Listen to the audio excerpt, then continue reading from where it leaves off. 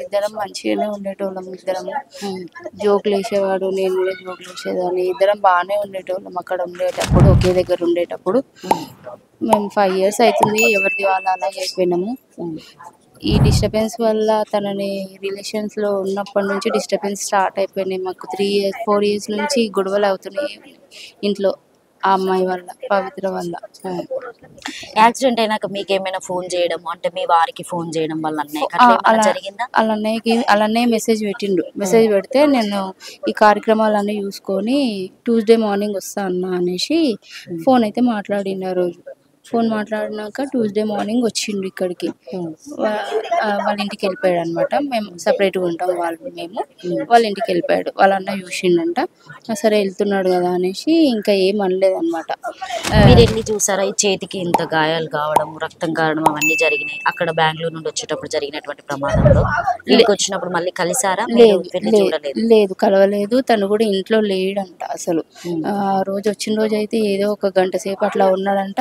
ఇంకా ఫ్రెండ్స్ అనేసి బయటికి వెళ్ళిపోయిండంట. కాల్ చేస్తే వాళ్ళ అన్నయ్యతోనే మాట్లాడేవాడు నాతోనే ఏం మాట్లాడకపోయేది. మామూలుగా ఈ గొడవల వల్ల మాట్లాడుకోవట్లేదు. అంతకు ముందుకు మాట్లాడుకునే వాళ్ళం మేము.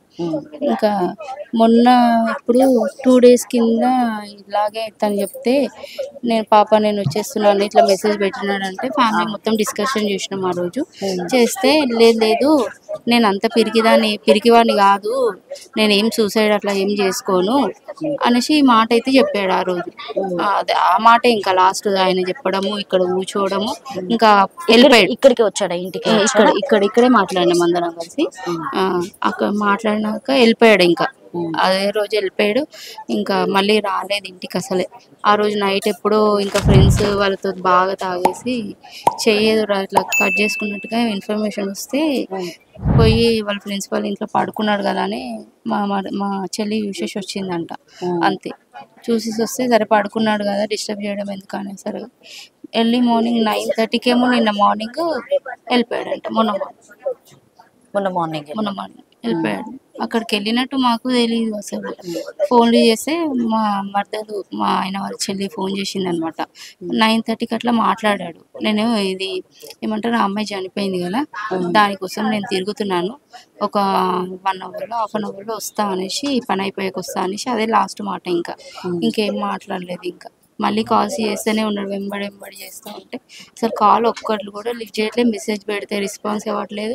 ఎందుకు ఇట్లా చేస్తున్నాడు అనేసి ఇక్కడ ఇద్దరు బాబులని అంటే చందును మీరు పెద్ద వదిన గారు కాబట్టి ఎప్పటి నుండో చూసినటువంటి వ్యక్తి అంటే పెళ్ళి కాకముందు. ముందైన మేన కాబట్టి మేము క్లోజ్ గానే ఎట్లా ఉండేటోళ్ళం. అసలు అంటే మెంటాలిటీ ఇంత అంటే ఆయన ఇంత ఉరి వేసుకునే లేదు లేదు. అంత పిరికివాడు కాదు. అందరికి ధైర్యం చెప్తాడు. ఎవరైనా సరే ఏదైనా గొడవ పడితే పడదు అని చెప్పేవాడు. నేను ఏదైనా ఇప్పుడు చనిపోయిన వాళ్ళని ఏమంటారు?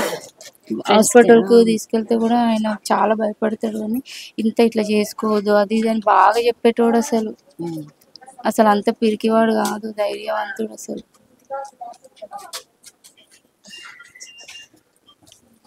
ఇట్లా చేసుకున్నంటే మేమే నమ్మలేకపోతున్నాం అసలు పిల్లలు. అలా పాప అంటే చాలా ఇష్టం ఆయనకి. వాళ్ళ పాప కోసమైనా ఆలోచించడం దీక్ష దీక్ష దీక్ష అనేటోడు బాగా. బాబు కంటే పాపను చాలా ఇష్టమైన ఫస్ట్ పాప. పాపకి ఇప్పుడు ఎన్ని ఇయర్స్ ఉంటాయి? Eight years. Eight years. బాబు? ఫోర్ ఇయర్స్ ఉంటాయి ఫోర్ ఇయర్స్.